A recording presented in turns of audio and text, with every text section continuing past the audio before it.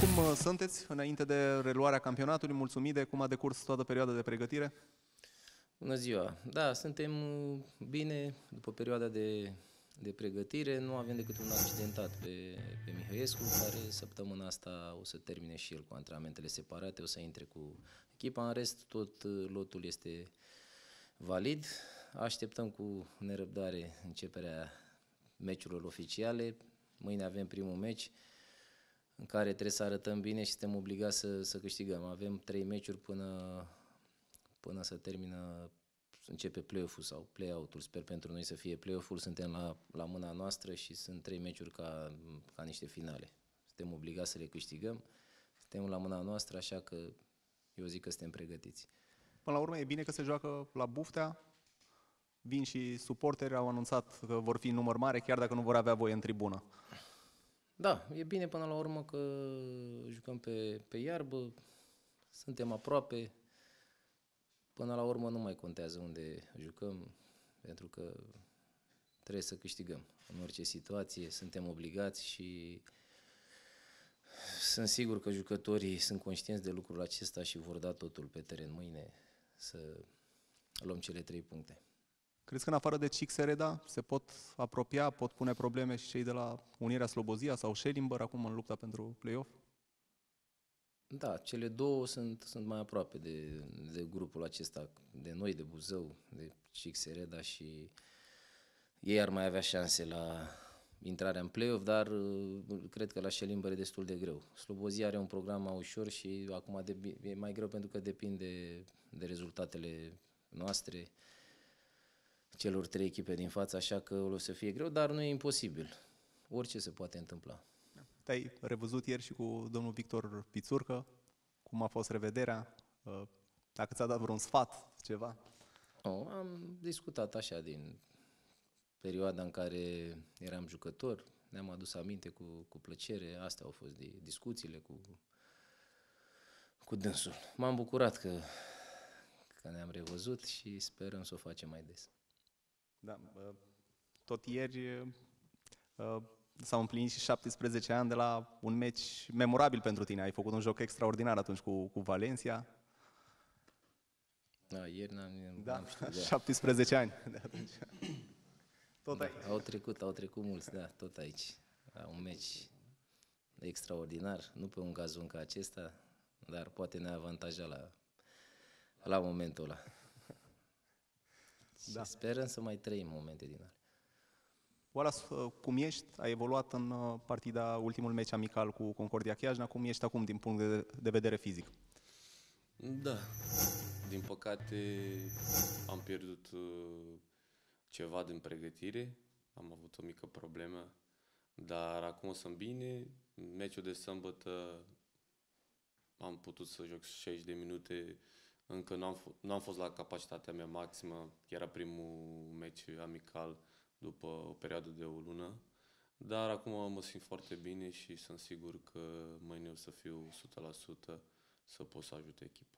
Cât de important este să începeți cu o victorie uh, aceste trei partide până la intrarea în uh, play-off? Îți dai seama, e, asta, pentru asta ne-am pregătit din greu uh, perioada asta, cum știi toată lumea, o perioadă Uh, foarte grea de pregătire și suntem pregăti, pregătiți, avem încredere, uh, am încredere în echipă și tot uh, ce am făcut în pregătire. Suntem pregătiți 100% să câștigăm. E primul meci și e cel mai important și dup- după aceea ne vom gândi la următor. Da, spre deosebire de alte loturi, la echipa noastră, echipa rămâne omogenă. Este acesta punctul forte al Stelei? Wallace? Da, putem să spunem că da. Uh, ați văzut și voi, nu sunt schimbări în lot. Și ne cunoaștem. Eu cred că echipa noastră uh, avantajul, să zicem așa, al nostru că suntem un grup unit, un, un grup care uh, majoritatea jucători venim și de la Liga 3 și chiar și de la Liga 4. Avem o încredere unul în celălalt și sunt sigur că mâine o să dăm tot pe teren să câștigăm uh, cele trei puncte. Da. Cât de mult contează și faptul că mulți suporteri și-au anunțat uh, prezența mâine la Buftea. Uh, ne, asta ne, ne bucură foarte mult pentru că ne dă și mai mare încredere, ne dă adrenalina aia înainte de meci, știind că suporterii sunt acolo lângă stadion, chiar dacă nu pot să intre, nu o să pot să intre.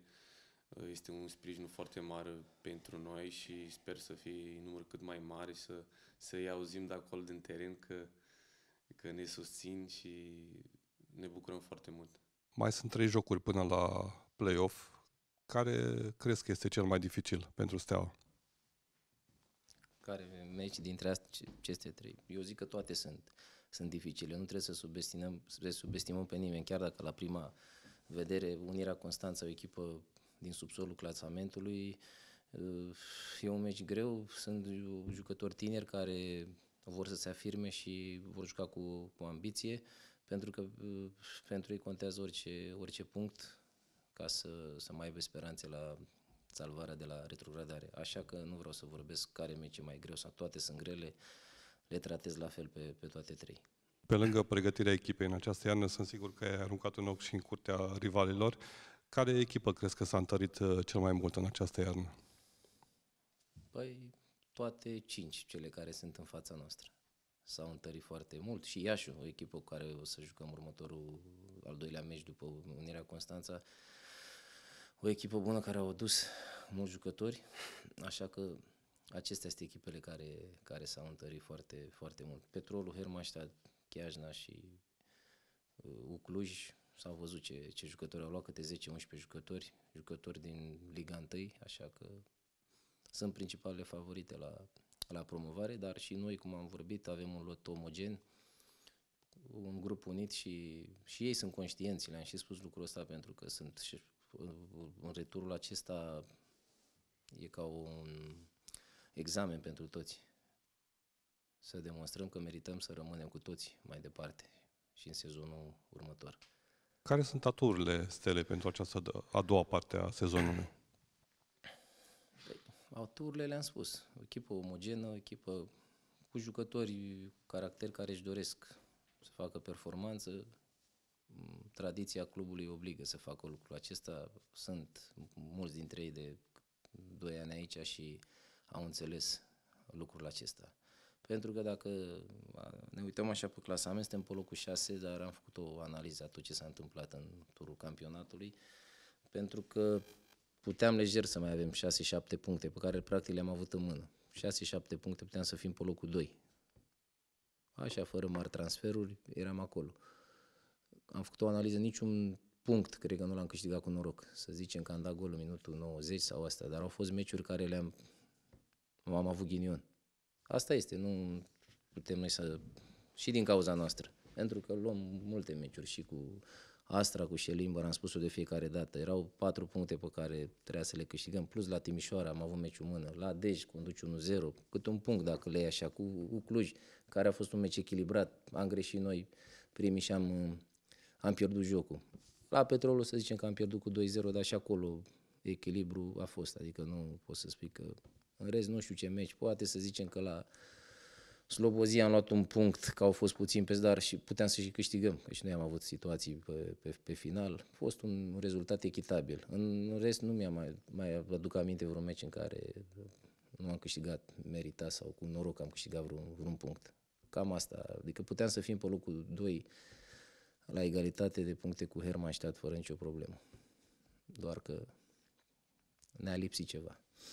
Aseară la Timișoara s-a stins nocturna, iar cel mai probabil petrolul va câștiga la masa verde. Cum vezi această situație? Am spus-o, eu am mai spus-o, parcă știți cum e asta, totul se, e pentru petrolul anul ăsta. La cât au suferit în anii ăștia, parcă anul ăsta se leagă toate pentru, pentru ei.